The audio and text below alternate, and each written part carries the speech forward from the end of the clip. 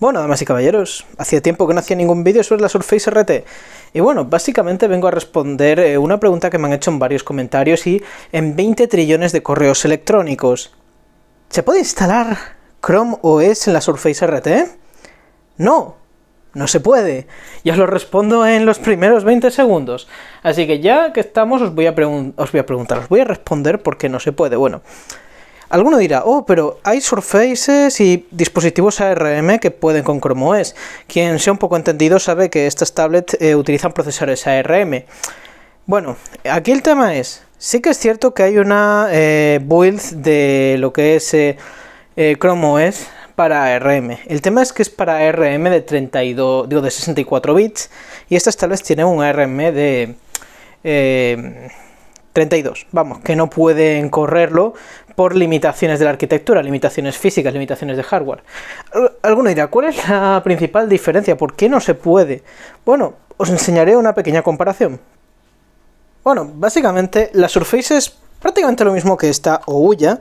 Y uno dirá, oh, ¿tienes una Ouya? Sí. Esta vieja consola Android de hace unos cuantos años no es más que un teléfono móvil eh, metido en una carcasa más molona. Pues básicamente la Surface usa hardware que usaría una tablet Android, pero una tablet Android de 32 bits. Es más, no se ha podido instalar Android en esta cosa hasta hace relativamente poco y porque la comunidad ha desarrollado el Android.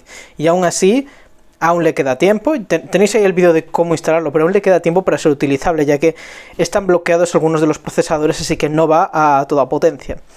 Y luego por otro lado tenemos lo que sería un dispositivo estándar, ¿Qué es esto? Esto de aquí sería eh, un ordenador de bajo consumo, un Acer Revo Build. Básicamente la diferencia es que esta cosa es un teléfono móvil y esto es un ordenador. Una mierda de ordenador, pero es un ordenador. Y básicamente no podemos comparar un procesador de estos con lo que tiene una olla. Entonces, básicamente, ¿por qué no se puede? Limitaciones de arquitectura.